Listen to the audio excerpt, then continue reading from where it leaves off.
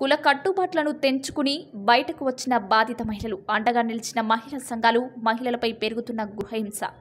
రోజురోజుకు మహిళలపై గృహహింస పెరుగుతుందని ఎస్సీ ఎస్టీ బీసీ మైనారిటీ మహిళా ఐక్యవేదిక ఆవేదన వ్యక్తం చేసింది.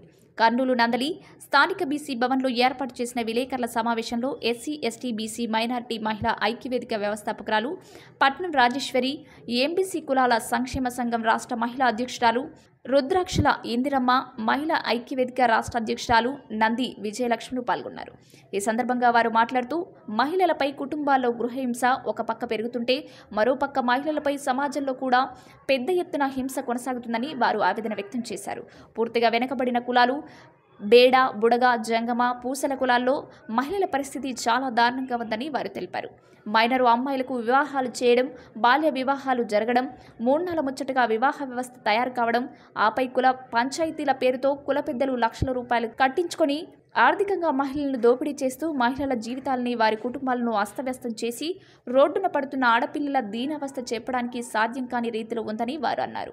ఈ కార్యక్రమంలో మహిళా ఐక్యవేదిక జిల్లా ప్రచార కార్యదర్శి వి. సరస్వతి బేడబుడగ జంగం మహిళా అధ్యక్షురాలు షిరిగిరి లక్ష్మి గూడపోగుల షారా పూసల వెంకటమ్మ తదితరులు పాల్గొన్నారు.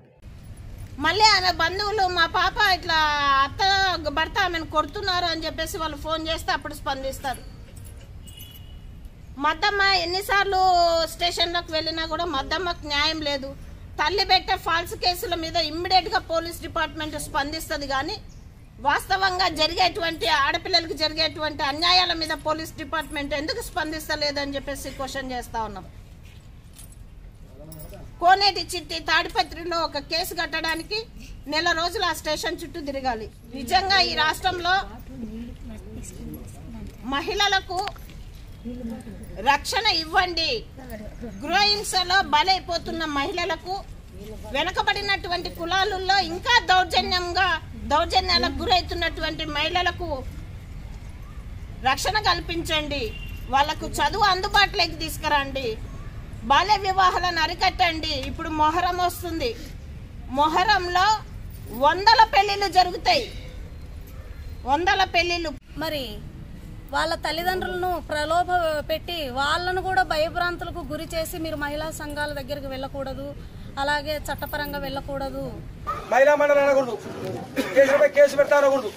రైతులు తొలకొచ్చి పంచాయతీలోకి వచ్చి పెడతారు వీళ్ళే సంఘాలకు అప్పుడే పోదు కదా ఇంతలోకి చేస్తారు పెళ్ళిళ్ళు నా కొడక? అని తిప్పేయడం అనని వాళ్ళు ఎంతగా చెప్పినా కూడా ధైర్యం చేసి ఈరోజు మహిళలు వస్తున్నారంటే వాళ్ళకు మేము చేతులెత్తి నమస్కరిస్తున్నాము. అదేవిధంగా ఇప్పుడు మేము కోరుకునేది కూడా అదే. బాల్య వివాహాలు మరియు రెండవ వివాహాలు అదేవిధంగా ఈ భిక్షాటన పిల్లల్ని చదువుకు దూరం చేయడము వీటిపైన ఉన్న రాష్ట్రంలో ఉన్నటువంటి పోలీస్ డిపార్ట్మెంటు మరి ఐసిడిఎస్ వారు కానీ అందరూ కూడా ఒకసారి మీరు దృష్టి సారించాలి.